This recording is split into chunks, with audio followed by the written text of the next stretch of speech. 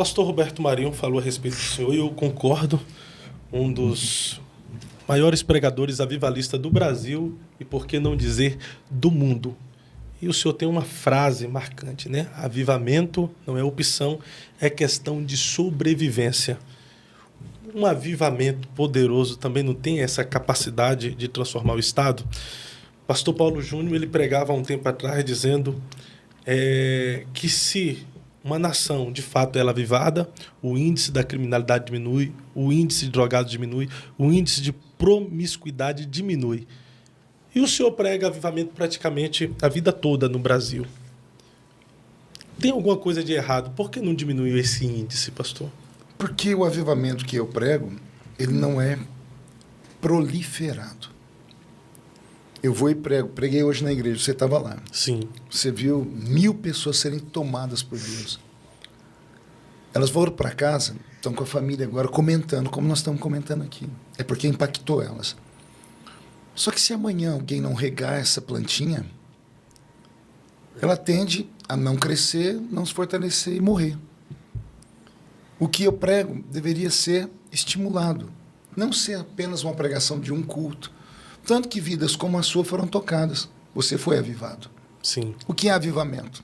É uma inflexão do verbo avivar. O que é avivar? Trazer de volta à vida o que está morto. Ressuscitar. Despertar. Acordar. Isso é avivamento. Então eu prego o avivamento. E por onde eu passei e passo até hoje, Deus tem feito obras tremendas. Só que tem que haver uma continuidade tem que haver uma busca, tem que haver uma curiosidade, tem que haver uma entrega, uma renúncia.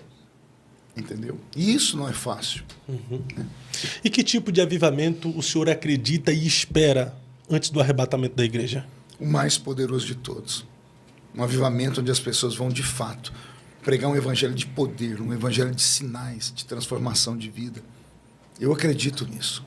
O Brasil, ele é a grande esperança para o mundo eu viajo o mundo todo e as pessoas sempre falam, olha, queremos o que a gente vê. Porque eles veem o ajuntamento, eles veem as igrejas cheias. O que nós vemos aqui, que para a gente às vezes é ruim, a gente está falando tanta coisa aqui, para fora é muito pior. Entende? O cristianismo, ele está em declínio. Nós vemos o cristianismo europeu. O cristianismo europeu está, está quase sendo sepultado. Houve um avivamento islâmico é. na Europa. A Europa está islamizada. E eu falava com um amigo, por que, que a Europa está islamizada? Pergunta para mim, por quê? Por quê, pastor? A Europa sempre foi progressista. A esquerda nasce na França. Né? A, Revolução Francesa né? nasce ali, a, a esquerda. Esses países progressistas, em nome do progresso, eles matam Deus. O iluminismo fez isso. Deus tem que estar morto para que a ciência, o homem da ciência, é o homem das possibilidades. Né? Nada pode ser errado. Por conta disso, é, a Europa, principalmente a França, se transformou num laboratório. É na, é na França que nasce é, o primeiro casamento gay, é na França que nasce a primeira parada gay, é na França que nasce o, o feminismo, como conhecemos ele hoje, é, é a França, a França que dá a emancipação feminina, é a França que apoia o aborto, o aborto é aprovado na França. Então, todas as pautas progressistas que o mundo acha que tem que ser, começa por lá. Vamos ver o resultado? Você tem uma sociedade que, quando nasce um bebê, você mata ele. Você tem uma sociedade que desestimulou o casamento entre homem e mulher e estimulou o casamento entre pessoas do mesmo sexo. Pessoas do mesmo sexo casam, então eles têm o bônus do sexo, mas não têm filhos. Você estimulou o feminismo, então a mulher que, que, tem que se desenvolver, ela tem que buscar, tem que crescer, tem que estudar, tem que administrar a empresa, ela não tem tempo para cuidar da família. A mulher acaba não querendo, optando por não ter filho ou até não casando. As maiores aberrações jurídicas é, estão na França no quesito de que é, tem famílias que deixam fortunas para o cachorro, para o gato, porque não tem filhos. Passou-se uma temporada sem nascer filhos. O aborto na, mata a criança. Casamento entre pessoas do mesmo sexo não tem criança. A mulher está estimulando a, a ir para frente, não tem tempo para a família, não tem filhos. Depois de 10, 15 anos, você não tem uma geração de filhos. Qual é o maior produto de um país? Câmara Cascudo dizia que o maior produto do Brasil é o brasileiro. Do que adianta você ter um país forte, com terras é, agricultáveis, mas não têm filhos, mão de obra para cuidar da terra. Os franceses começaram a ter problema com mão de obra. O que fizeram? Abriram as portas do Oriente Médio e começou a importar mão de obra barata. A mão de obra vem do Oriente, do Oriente Médio. Aí vem pessoas do Oriente Médio que são convertidas ou que já nasceram na religião islâmica. Aí a pessoa que nasce na religião islâmica, o Alcorão para elas e, o, e Maomé é tudo. Eles morrem por aquilo, eles matam por aquilo. Aí eles chegam e eles têm 10 filhos, 15 filhos. Os franceses não têm mais filhos. Aí vem uma pessoa de fora tem 15 filhos. Vai vendo. É matemática. Dentro de 40 anos, nasceram só pessoas islâmicas. O cristianismo entrou em declínio e surgiu o Islã. Aí o Islã prega o quê? O radicalismo pleno. Mulher é diferente de homem. Filho não responde para pai. Eles têm uma lei deles que é a Sharia. E começou a ser aplicado. Por que, que o europeu está convertendo ao Islã? Por quê? Porque o europeu cansou de ser, de, de ser pisado pela esposa, porque a lei protege tanta mulher que o homem, o homem, tem, o homem teve que. É como no Brasil hoje. Se uma mulher quiser destruir sua vida, ela vai destruir a sua vida. Você tem que orar para nenhuma mulher querer destruir a sua vida, porque não precisa ter provas. Eu falei aqui agora há pouco de um pastor que ficou dois anos na cadeia por uma acusação de estupro, feito possivelmente seis anos antes, sem nenhuma prova física. Apenas uma pessoa dizendo assim: ela falou para mim que tinha sido feito. É isso, acabou. Estupro hoje no Brasil não é mais conjunção carnal, é ato libidinoso. Ato libidinoso? Vou assustar vocês aqui agora. Você vai, você viaja muito e prega. Você, as pessoas tiram foto com você. Sim. Se uma mulher tirar foto com você, abraçada, e ela pegar essa foto e olhar direitinho e ver que a sua mão direita não aparece, se ela for na delegacia e falar, só está vendo aqui? Ó, cadê a mão direita dele? O delegado, não estou vendo. Pois é, estava no meu bumbum. Tem prova? Tem a minha amiga ali que viu. Absurdo. Acabou. Ato libidinoso. Então, o homem, ele tá, ele, ele, nessa situação que nós estamos ficando, o homem tem medo de fazer qualquer coisa. Então, a lei, as leis criadas pelo feminismo têm essa intenção de desmoralizar o homem. Aí na Europa, o homem cansou disso. Cansou de ver a filha chegar em casa bater na cara do pai o pai não poder fazer nada. Não poder dar um grito com o filho. Por causa, lembra da lei da palmada que foi Uhum. aprovada aqui na- no Congresso Nacional? Sim. É isso. Se você provocar angústia no seu filho, é crime. Como é que você mensura a angústia? Não vou te dar celular esse ano. A criança emburra. Vai para a escola. É. Professor, o que, que você está? O que, que é isso? Meu pai, o que, que foi? Meu pai me magoou.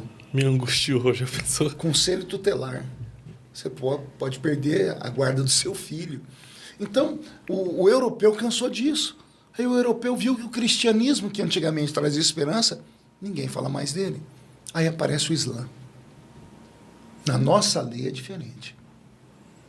Você é o chefe da casa. Sua esposa, seus filhos têm que lhe respeitar. Começou a trazer de volta aquilo que eles tinham no passado com o cristianismo que se pregava à luz da Bíblia.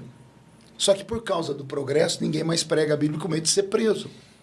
Como é que você vai explicar hoje para alguém, fazendo um casamento, dizer, assim como Cristo é o cabeça da igreja, convém que o marido seja o cabeça? Vai falar isso hoje nas igrejas. Essa onda de feminismo. Vai levantar uma irmãzinha, ô pastor, não, não, direitos iguais. Entendeu? Então nós fomos afrouxando, paramos de. A gente está se adequando a esse mundo. O mundo quer ver diferença. Na Europa não se vê mais diferença no cristianismo, mas vira diferença no Islã. O Islã está crescendo. Por que está crescendo? Porque as pessoas cansaram de perder sua família, de perder sua autoridade. Entendeu? Por isso o Islã cresceu dentro da Europa. Mas a esperança de crescimento no cristianismo mundial, pastor? Porque Só se houver um avivamento. Um avivamento que comece nos púlpitos. Que comece entre nós, obreiros. Que comece entre nós que temos a liderança. De falar com as pessoas. é, encontrar um caminho. Nós não, podemos, nós não podemos deixar a igreja se transformar apenas num, num local de entretenimento. A igreja virou local de entretenimento. As pessoas querem ir para uma igreja que tenha boa música, um bom orador, que os seus filhos sejam bem abraçados em escolinhas, que tenha muitas atividades. Tá, é muito bonito tudo isso. Mas que transformação está trazendo no coração das pessoas? É. Então, as coisas não estão legais. Não estão legais. Tanto é que eu termino o vídeo falando lá da IME que a gente precisa fazer uma autocrítica da nossa fé. É preciso fazer uma autocrítica, nós como pastores, rever nossas pregações, rever os nossos sermões. Eu, eu, eu prego a mesma coisa há 30 anos, foi a direção que Deus me deu. Né? Mas é preciso rever algumas coisas. Se não dermos aos jovens de hoje o conhecimento de um Deus vivo e verdadeiro, se eles não tiverem uma experiência profunda, o mundo vai levar eles embora. Porque o que eles não vão encontrar na gente, eles vão acabar encontrando no Espiritismo. Porque o homem é, por natureza, um ser místico. Ele tem necessidade de conhecer aquilo que é místico. Quer ver? Hum. Não estou falando demais. Chega com um grupo de amigos, está todo mundo conversando, fala assim, gente, eu tive um sonho. Todo mundo para para te ouvir. Por que todo mundo para para ouvir um sonho se é só um sonho? Porque o sonho traz uma mensagem subliminar de uma coisa mística. Entendeu? Você fala, ó, oh, gente, eu vi, eu estava naquela casa e vi um negócio, todo mundo para. É do ser humano isso, porque parte de nós veio do céu, nós viemos de, de um outro plano. Salomão diz isso. Quando o homem morre, o pó volta para o pó e o espírito volta para Deus. Se nós não dermos a, a essa geração nova palavra viva e experiências com Deus, se não buscarmos batismo com o Espírito Santo, se não buscarmos os dons espirituais, isso só vem com santidade. Se não pregarmos de novo que os jovens têm que começar a entender que o corpo deles é templo do Espírito Santo, nós, nós não podemos afrouxar. Falta santidade. A busca por ela, ou o estímulo por ela. Mas, para se falar para você tem que ser santo, você tem que dizer para ele que, ao fazer essa renúncia, ele vai ter outros ganhos. Não é apenas ser por ser, é ser para algo. Eu busco santidade, porque eu tenho certeza que ao buscar santidade, é automático, eu me aproximo de Deus. Sim. Quanto mais perto de Deus eu estou, mais perto da glória dele eu fico. Quanto mais perto da glória dele eu fico, mais fácil seria eu ser absorvido pela glória ou eu absorver essa glória. Foi o que aconteceu com a minha geração.